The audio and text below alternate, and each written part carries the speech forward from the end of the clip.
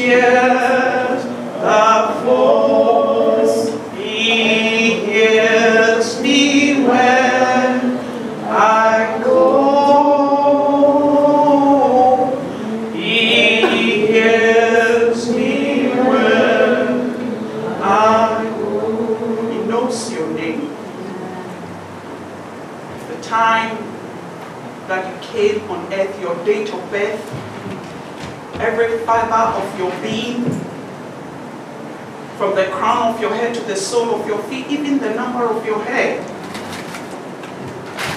Whilst I was making the research, you know, it was telling that somebody had this footnote, the importance of water, how God has organized it, that through vapor, we get water in the cloud, which is not salty from the sea. We get, we get the water from the sea, which is salty.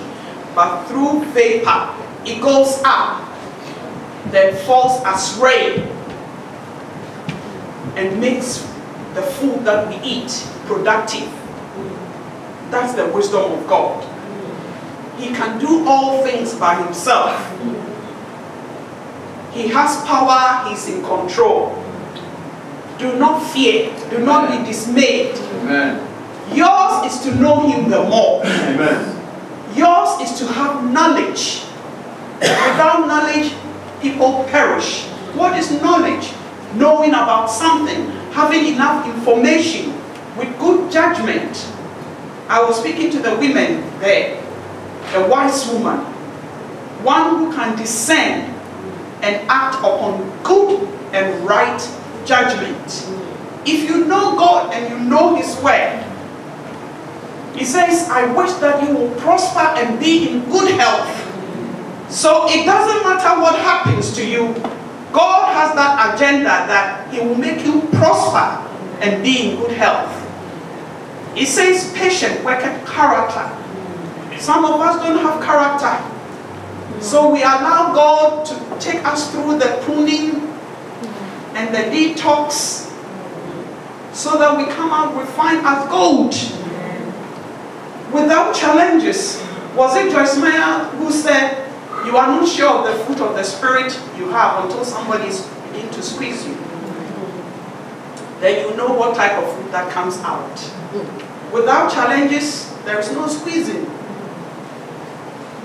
Without difficult moments in life, there is no maturity, there is no growth. We are all growing every day. God prunes us so that we come out better. And that is the omniscient God, the foreknowledge God. He has foresight, He has insight, He has understanding. His purpose for you is of good and not of evil. And today I just want you to look inside yourself. What is that promotion that is around the corner? But you are not taking it. You are battling with God inside. Oh God, I can't do this. I want. Some of us just look at God eye to eyeball and tell him, I won't. I won't do it. Sitting on our promotions. The earlier, the better you do it. So that he takes you to the next level. He has time, we don't have time. Time is not on our side. Time is running fast because there is a day, as the prophets prophesied the birth of Jesus 4,000, 2,000 way back years ago, and it happened. Bible says the same Jesus that you see him going up, he will come. He wouldn't remain like this forever. Amen. What is your purpose on earth? What is your plan on earth? Do you know the God? Do you know the reason why God made you to be alive? Amen. Amen. We need to arise because we can do better. Amen. And the devil is a liar. Amen. He's lied to us for so long. The church has become a sleeping giant. We are giants, but we are sleeping. That will not be our portion from today forth. Amen. God is raising up army. People that will rise up and face Goliaths. People that will rise up and be put into the den of lions, but we will not be shaken. Amen. It might not be a lion literally, but so many disturbances at home that seem to be lions in our life. How do we face it? Reality with patient, working character for our good. He says a man's gift will bring him before great men, but it's his character that will make him to stay. The giftings, you didn't do anything about it, but it's your character that you have to work on it. At the end of the day, love is what is going to control us in heaven. If we don't love ourselves, can we stay in heaven? Let's be real. You don't know anything about love. You're always hating, being pride, proud, everything controlling us. And you want to go to heaven. Hello? Am I scratching some surfaces? so we better practice love here. We better practice containing ourselves here. Some people, yesterday, we were at one of Pastor's friend birthday party and the wife talked very good about the husband. But in the end, she was saying, please, if the, it, it was her outbringing, and people, you, know, if you don't know certain things, you might assume. So I think in her church, she's very reserved. She doesn't go to people, and maybe people doesn't come to her because she was trying to explain that don't get me wrong or don't be offended because that's my upbringing. The dad was so strict to an extent that when she's doing something and her dad tends to see that thing, it means that's the end of her life that particular day. She's doomed. The, one, one shout, one scream, or one look of the father will, will, will, will make her very cold. She just goes to her bedroom, sobs, and she sleeps. She cries and she sleeps. That is all that she knew. And now the husband is an elder in the church. She's on the leadership front. but she needs to work on her character. So people are coming from different backgrounds. People are coming from different aspects of life. But we are all aiming for growth. Because God is taking us from faith to faith and from glory to glory. Are you prepared to see the glory of God in another level in your life? Work on your character. Your gift will bring you before great men, but it's your character that will make you to stay. You have all the talents and we can't see you at church. Is that character? That's not character. Because you need to be in the presence of God so that people will draw the wisdom that God has given you. But if you are not there, you are not profitable. Amen. Amen. The omniscient God, the foreknowledge, the God that we serve. His ways are so deep. We will not understand him until we read the letter. Until we are familiar with the word of God. Chew it, swallow it, let it be part of you. And that is where revelation comes. We are meeting here every Friday. When we come in, new revelation is coming every day. And I'm thinking, what kind of God is this? If I'm not sitting in his presence, I wouldn't hear this. He says, uh, uh, uh, he says people were baptizing for dead people. I've, I've never even heard anybody explaining or discussing that issue in the Bible. It came up. And it was being explained. Writing notes, I was just writing it down because I've never heard it before. What about if I go somewhere, a pastor's wife, and some that question comes up? How am I going to answer? But because I was there, I listened and I learned. Amen. I was behind the scene. I was I, I was telling this group of girls that when I was about 10 years old, I was in, we were in the Methodist, you know, the pra big prison worship team. But there are times our prayer master will do service of songs.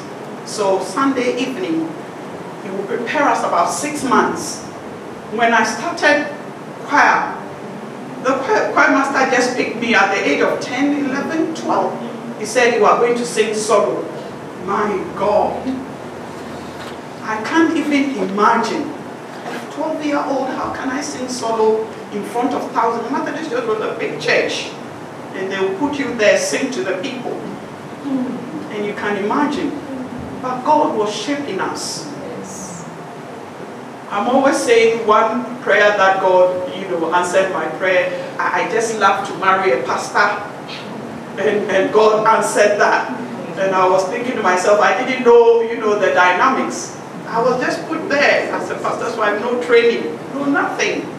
But God is infinite wisdom. He has a plan. He has a purpose.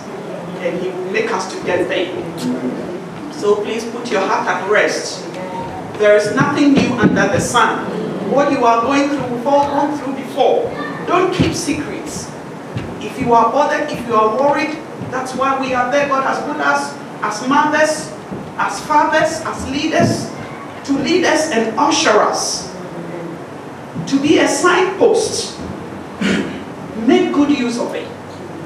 And you, congregation, to encourage us because we go through a lot. I can't stand here and tell you what I'm going through. But if God touches your heart, don't hold back. Amen. Amen. So that we'll be a blessing to one another. I pray that every word that you have heard today, it will not be a letter, but it will be a spirit. It will come from God Himself. It will make you unsettled until you do something about your life, your plan and purpose that God has for you. As you take action, as you trust the word of God, as you put it in practice, you shall be promoted. You shall be on top and never beneath. Goodness and mercy will follow you all the days of your life because you've honored the word of God. God will replenish you. Your going out and your coming in will be exceptional. Among your peers, you will stand out. Goodness and mercy will follow you all the days of your life. Your children will rise up and call you blessed, blessed and highly favored. The devil is a liar. Don't believe the lie of the enemy. God has a better plan for you. Says, I've loved you. I've known you. I've called you. Even when you were like a black cloud in your mother's womb, I knew you. And this is the God that we serve. He calls us as sons. And we are his people. Covenant people. If you have covenant with somebody, it's not easy to break up. And this is this God that we serve. This is this God that we obey. Every promise is in the way. Begin to make good use of it. It shall be a blessing to you. May the Lord bless his word. In Jesus' name. Amen. Hallelujah. Let's give the Lord some praise. Let's give the Lord some praise. Let's appreciate the woman of God. Let's appreciate the woman of God. Let's appreciate the woman of God. Praise the name of the Lord. Hallelujah. Amen. The omniscient God. The all-knowing God. Are we blessed? Yes. What we say to the woman of God? Hallelujah. Amen. Amen. We thank God for his insight. We thank God for his omniscience. I think all of us will take something from it.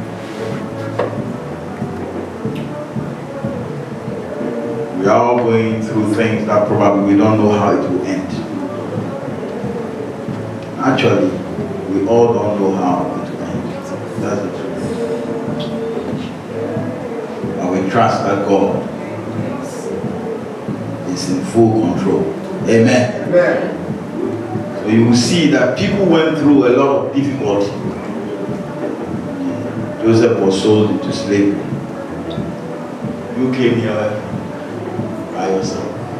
You bought your own ticket, made your own passport, decided the country you wanted to go to. Look at how many countries are in the world. you decided I'm coming to UK. Amen. Amen. Joseph didn't have that. He was sold into Egypt. He didn't decide I want to go to Egypt. No. They decided we are going to sell you. And the country we want to sell you into is Egypt. That's it. But even that, God had a plan. Egypt is exactly where God wanted him to be. Amen. Amen. So even when you think you are being mistreated and things are not going, you have to know that it's God that we serve. But you have to be in His way. That's the key. You have to be in His will. When you are in the will of God, all things work together for good. For those who love God and are called according to His purpose.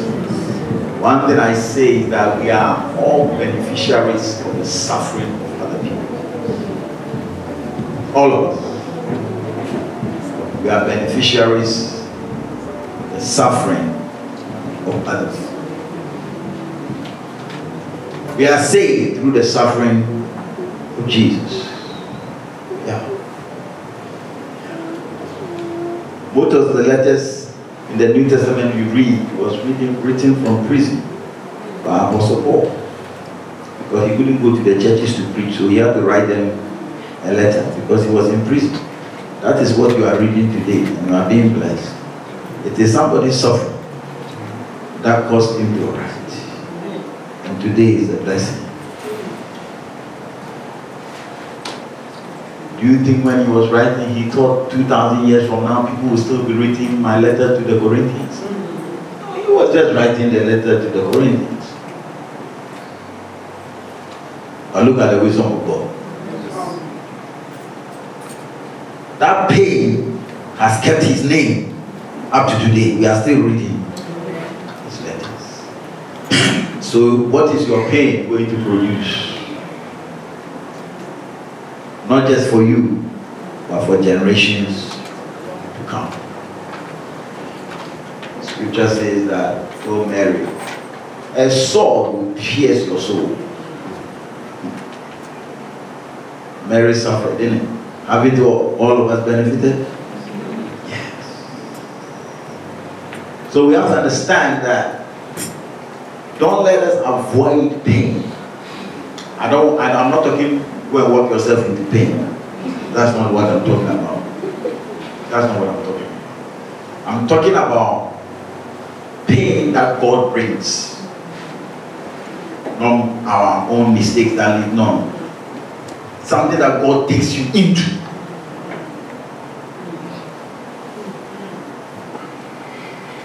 Know that God can take you into a battle? Yes, you are not looking for a battle. God will orchestrate a fight.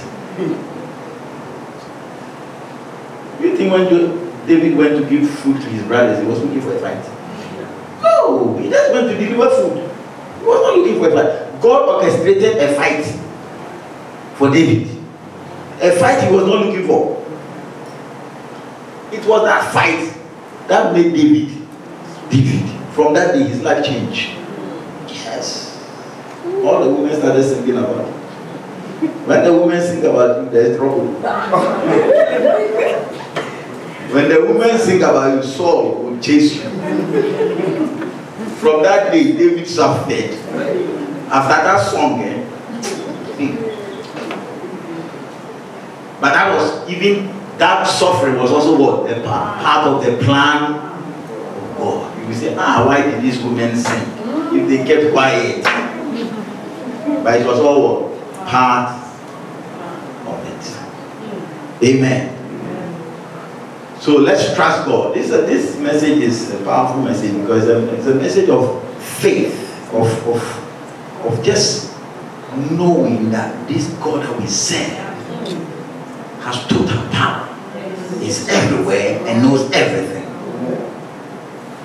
And you have to train yourself to come to that knowledge. You have to practice. And then come to that place where you know beyond the shadow of the doubt this God is with me. there's nothing he can't turn around. Yes. And at that point, God can use you. Because the things that will make you afraid, you are no longer afraid of them. And then God can give you serious assignments. But He knows now you can risk for Him. You can take risk. Amen. Amen. Amen. So we thank God for this word. I want us to just lift up our hands whilst you are seated. And I want you to pray for yourself and pray that God will open your your your mind. He, he will he will he will give you this revelation that he's an omniscient God. There is nothing he doesn't know about you. There is nothing going on in your life that he's not aware. There is no suffering, there is no pain that God is not aware. God is aware of everything. God is aware of the discouragement, He's aware of the disappointment, He's aware of the things that should have gone this way.